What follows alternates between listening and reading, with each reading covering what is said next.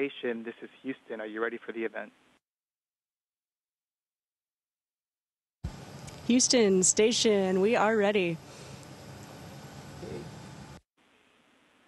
Houston ACR, this is Mission Control Houston. Please call station for a voice check. Station, this is Houston ACR. How do you hear me?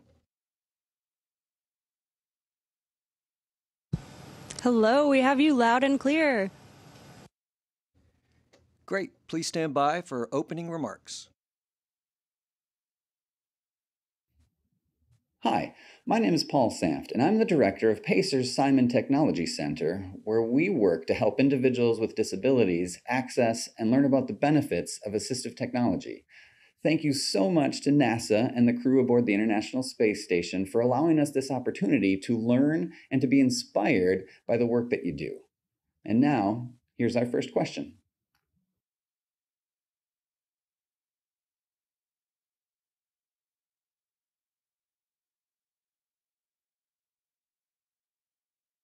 My name is Max, and my question is What do astronauts do to keep busy after work when they have free time? It's a little bit different for everybody. We all come in with our own interests and different hobbies. For me, I absolutely love taking photos out of the cupola window. Hi, my name is Enzo. What is the temperature inside the space station?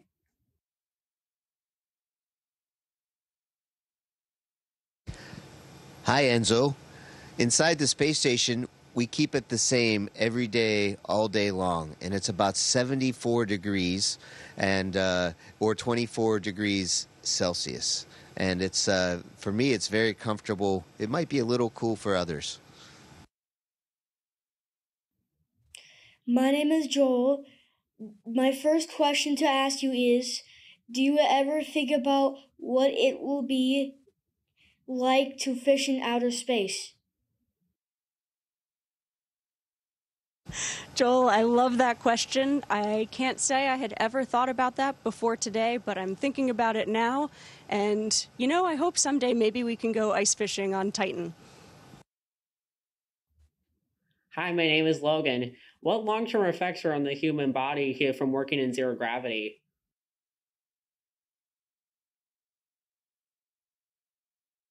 Hi, Logan. Great question. We've uh, spent a lot of time and uh, with the scientists on the ground investigating that exact question. And we have the main thing that's uh, that bothers us or long-term effects are our muscles and our bones. So we exercise two and a half hours every day aboard the space station to minimize that impact on the body. Hi, my name is Caitlin. What part about being an astronaut has seemed the funniest or most absurd?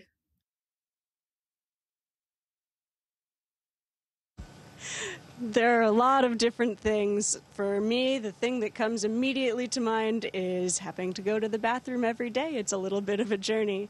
Another thing for me is on Earth, I'm really bad at catching stuff, but here I'm really good Yes, you because you can throw things very slowly.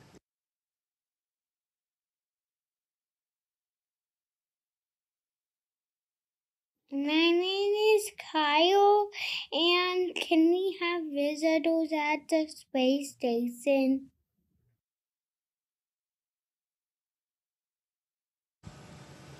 Hi, Kyle. Aboard the space station, it's very rare, but sometimes we do get visitors. Sometimes there are companies that send up some astronauts, private astronauts, that come up for a couple weeks, and then uh, they get some science done. They take lots of pictures, and they do a, a really good job, and then they leave, and then we wait for our next friends to come. But yeah, we don't get too many visitors, but we're building a future so that more people can visit space.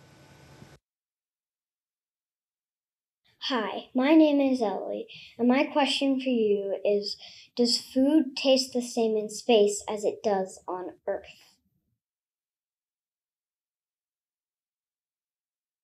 Hi, Ellie. That's a really interesting question. I think different people have different experiences. For me, the food has tasted pretty much the same, and we've got a lot of great food here. On board the International Space Station. One thing I noticed though is that it's really hard to smell your drinks because we're drinking out of bags with straws instead of out of a cup. And so that changes my perception of the things that I'm drinking. Hi, my name is Gumball. Have any astronauts on the space station seen, heard, or experienced rare or unexplained phenomena in space?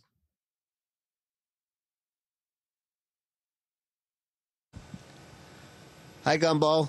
Great question. We're always on the lookout as explorers and investigators, but unfortunately, at the moment, you know, the space station's only like uh, 250 or 300 miles above planet Earth, so we're still in our own neighborhood.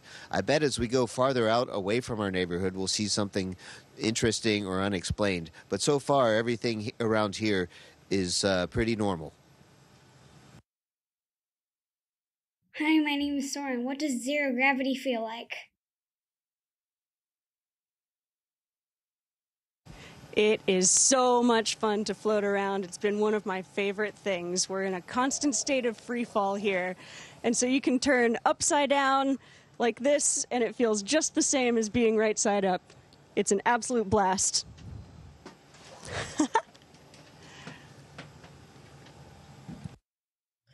Hi, my name is Xander. My question is What differences have you noticed in plants growing on the space station compared to Earth?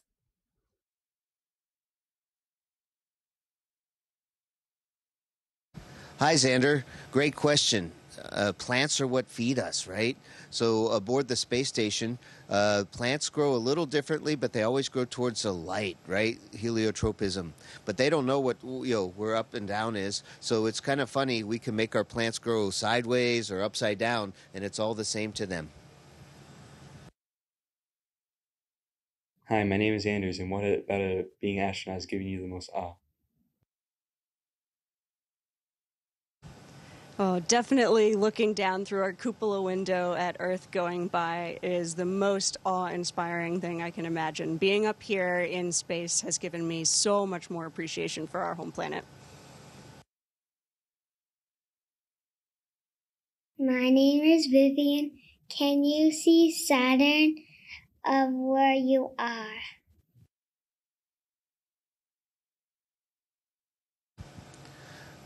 I really like that question. Saturn is one of my favorite planets. It's so pretty with the rings, but we're aboard the space station. We're up in space, but we're not that much closer to Saturn. It's really far away. So, yes, we can see Saturn, but we can't see the rings unless we use a telescope, just like on planet Earth. Hi, my name is Lacey, and my question for you guys is How are you not scared of free falling back down to Earth into the middle of the ocean?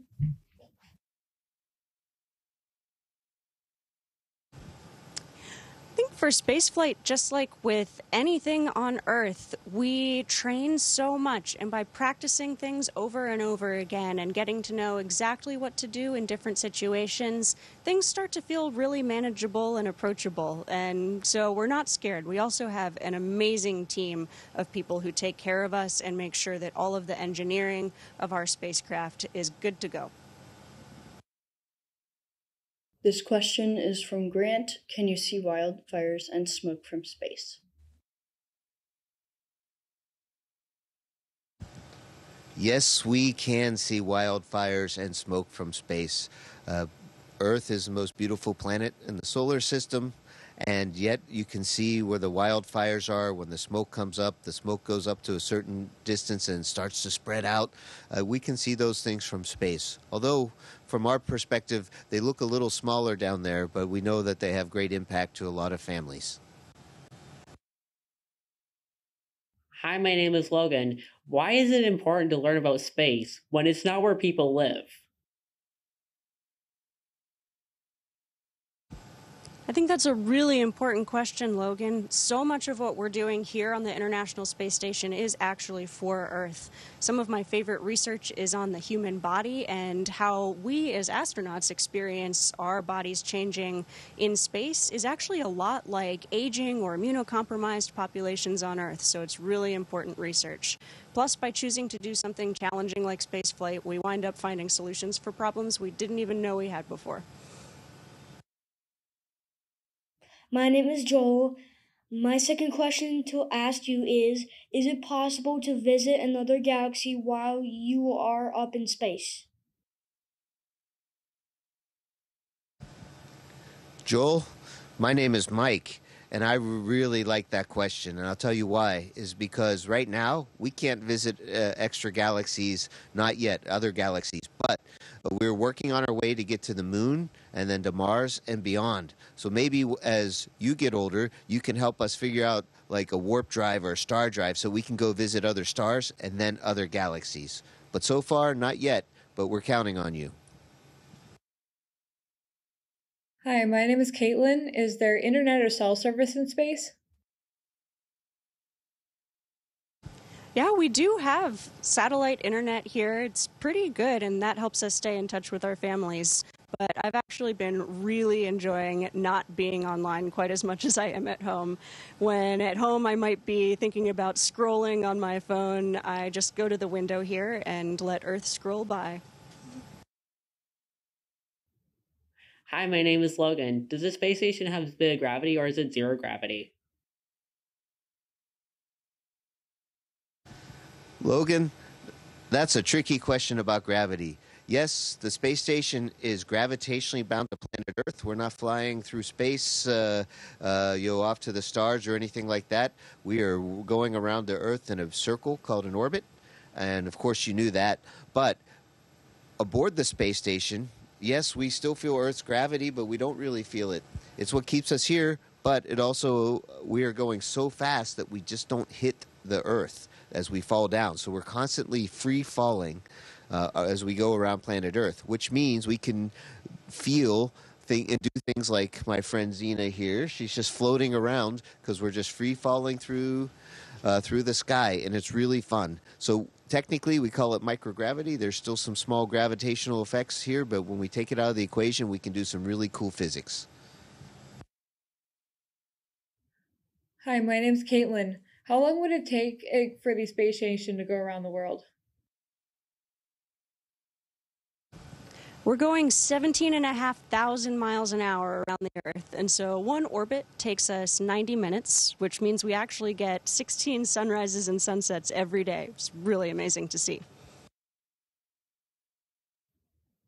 My name is Joel.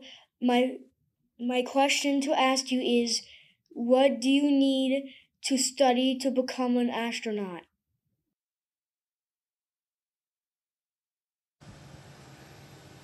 Hey, Joel, uh, that you had a really good question there, talking about what do we need to study. And the more things that we know as human beings, the more opportunities we have. So even if you don't want to be an astronaut out there, and you just the more studying you can do, reading is really important. But to become an astronaut, one of our biggest superpowers, if you will, is that we can learn things uh, pretty quickly. So we're always curious, we're always learning new things. So keep that in mind as you follow your journey and uh, and maybe become an astronaut. Hi, this question is from Malachias. What is the most challenging part of your daily routine? Oh, I alluded to it earlier, but for me, using the restroom is always an adventure. But we have really great systems that actually allow us to even reclaim our urine and use it as drinking water the next day, which is really amazing. Hi, my name is Enzo. What is it like adjusting back to life on Earth after being in space?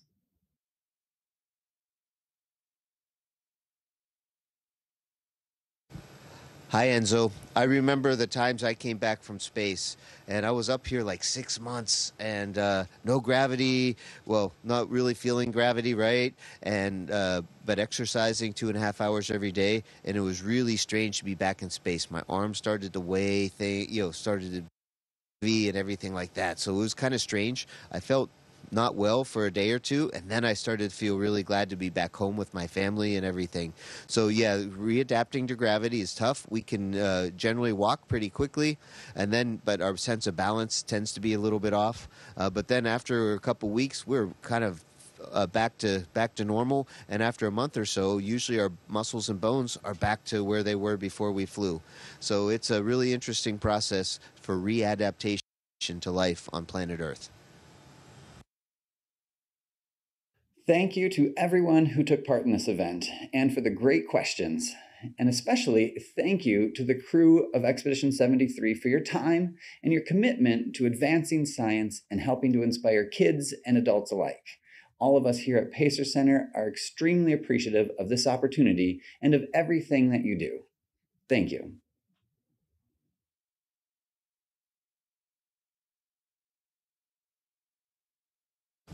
Thank you for the great questions. We loved talking with you. Station, this is Houston ACR. That concludes the event. Thank you.